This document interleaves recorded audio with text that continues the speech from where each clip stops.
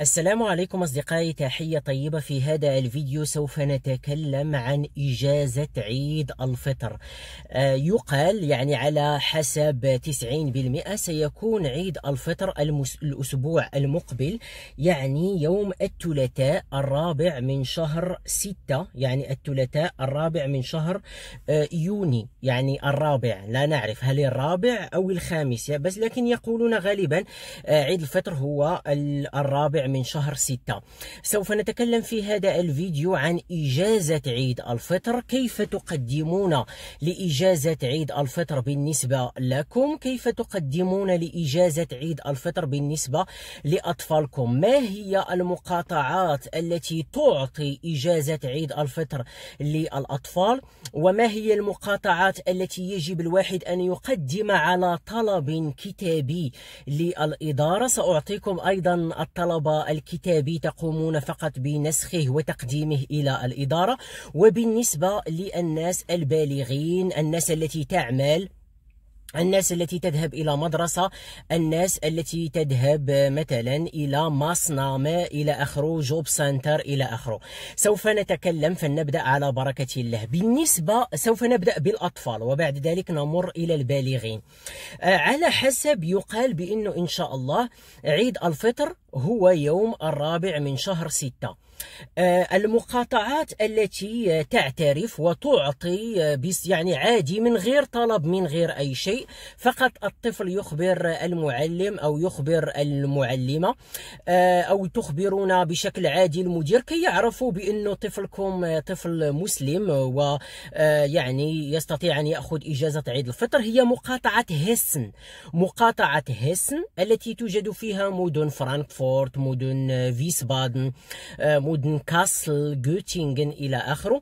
هذه المقاطعة وزارة التعليم أعلنت بأن الأعياد الإسلامية توافق الأعياد المسيحية وبذلك يحق للطفل دون أي تقديم لطلب كتابي أو أي شيء يحق للطفل أن يأخذ إجازة عيد الفطر. إذا إذا كنتم تسكنون في مقاطعة هسن أطفالكم يذهبون إلى المدارس يستطيعون أن يأخذوا إجازة عيد الفطر يوم الثلاثاء.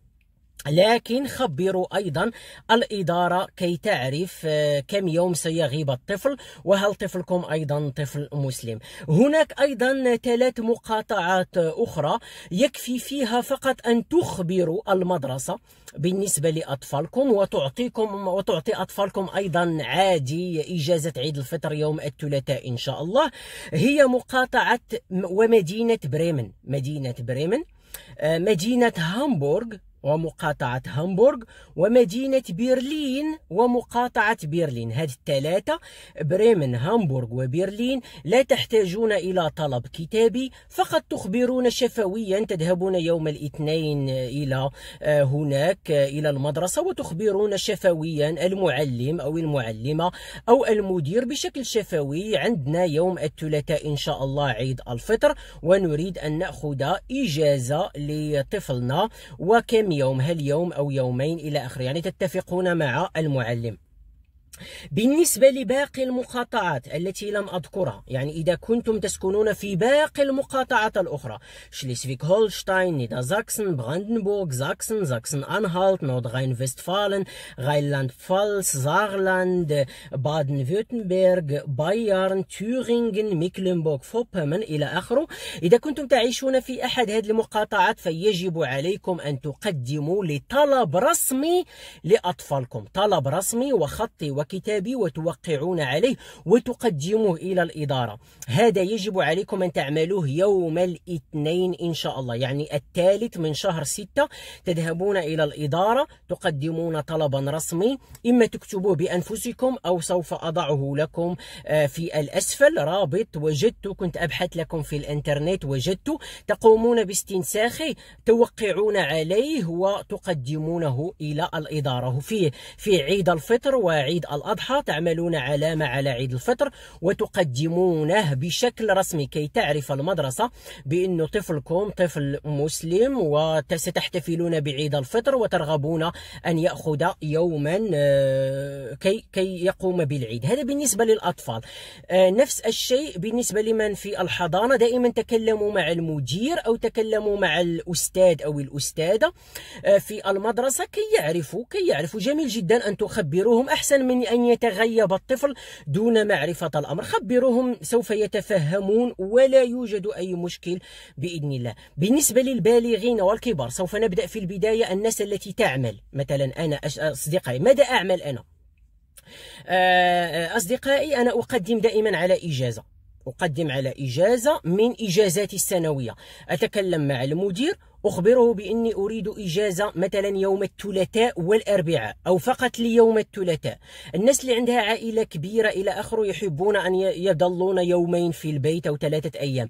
يجب أن تقدموا في هذه الحالة على إجازة لأن القانون لا يعطي عطلة للمسلمين. رغم أننا جزء من هذا البلد رغم أننا ندفع ضرائب لكن للأسف للأسف ليست عندنا إجازة آه، رسمية. لكن أصدقائي يمكن أن تقدموا على إجازة بالنسبة لي أنا أتكلم مع المدير أخبره بأنه يوم الثلاثاء سوف أحتفل بعيد الفطر وأريد أن أقدم على إجازة. فأتكلم مع زملائي الألمان لأنه دائما يجب أن أبحث وأن أجد فاتخيتا شخص ينوب عني في ذاك اليوم وأقدم على إجازة وأحصل بطبيعة الحال على إجازة لمدة يوم واحد. أنا بالنسبة لي يكفي يوم واحد يوم واحد إجازة آه، إجازة عيد الفطر وخلص يعني أقدم على إجازة بالنسبة أو أو يمكن الناس أن تقدم على überstunden إما أغلوب أو überstunden أباول الناس اللي عندهم ساعات إضافية كثيرة يمكن أن يقدموا عليها. لكن تكلموا مع المدير واجلسوا مع المدير واشرحوا له.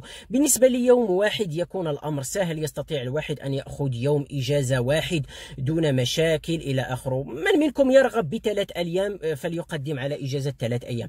الناس التي ما زالت مسجلة على الجوب سنتر وتذهب إلى مصنع أو تعمل كورس لغة إلى آخره. أنصحكم بأن تتكلموا مع المدرسة التي تعملون فيها مصنع المدرسة التي تعملون فيها فايتا بيلدونغ أو كورس اللغة. تتكلمون معهم وتشرحون الأمر إلى المدير أو إلى المديرة إلى المعلم أو إلى المعلمة. تقولون لهم نحن آه، يعني صمنا رمضان ومسلمين إلى آخره ونحتاج إلى إجازة عيد الفطر. تقدمون عليها بطلب كتاب كتابي اكتبوا الطلب نقدم على إجازة عيد الفطر يوم الثلاثاء الرابع كذا وكذا لأنه كذا وكذا وكذا. وتوقعون باحترام تقدمونها إلى المدير ويعرفون بأنكم تغيبتم دون مشاكل. حاولوا دائما أن تمشوا على هذه الطريقة الطريقة القانونية وهذا ما في الأمر. أريد فقط أن نتقاسم هذا الأمر بكل حب واحترام. نحب هذا البلد لأنه نعتبره وطننا وبلدنا. نحترم قوانينه ولذلك نمشي أيضا على حسب القوانين. قوانين أصدقائي. شاركوا معنا في الموضوع وعيد فطر سعيد على الجميع. بإذن الله نعيش في سلام نحب بعضنا ونحترم بعضنا. شكرا على المتابعة. السلام عليكم. إلى اللقاء.